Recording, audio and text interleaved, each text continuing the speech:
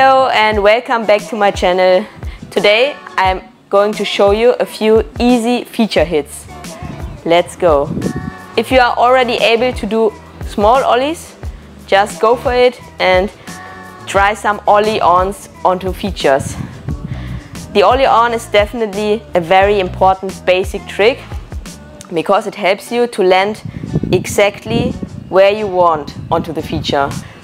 It also gives you a nice tension on the feature if you do an ollie on rather than letting yourself getting pulled onto the feature. So just go for it and try ollie onto the feature.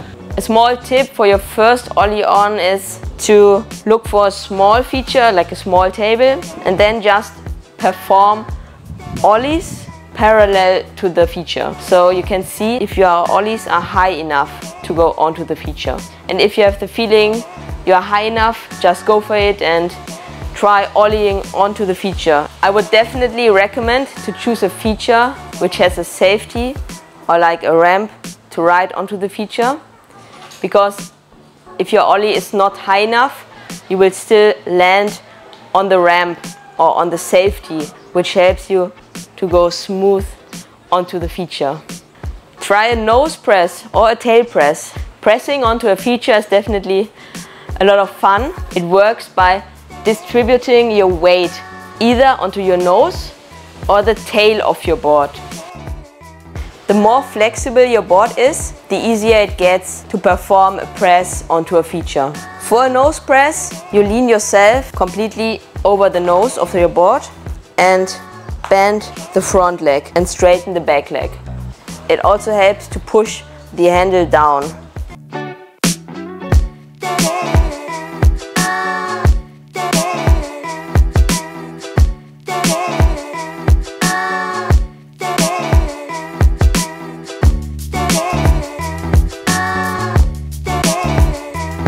For a tail press, you bend your back leg and straighten your front leg, leaning yourself completely onto the tail of your board.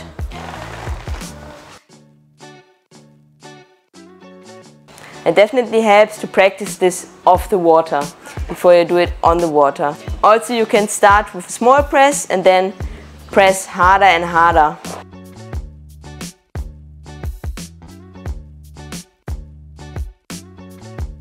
Tapping the feature with either your nose or the tail. So for example, at the end of the feature, you push yourself out of the feature, straighten your back leg, bend your front leg to perform a little tail tap of the edge of the feature.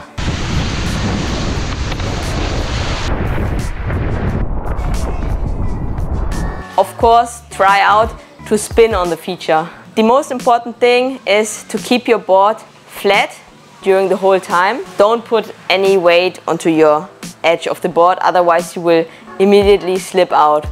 So just pull the handle to your hip and initiate with the rotation by looking around your shoulder. Perform the spin and then ride off the feature. So it's definitely a lot of fun and you can Perform 180s, 360s, 540s, 720s on any feature you want. Just try it out. Make yourself small. This also helps to keep a better balance and then go for it. You can practice the handle pass off the water. If you already know how to land blind with the handle behind your back, a backside 180 off a feature is also a lot of fun and you should definitely try it out. The most important thing is to wait until the very end of the feature, push yourself actively out of the feature and then initiate the backside 180 with the blind landing. Landing blind of any feature at your cable park is definitely an important basic move you should be able to do. Practice makes perfect. Don't forget, enjoy the process.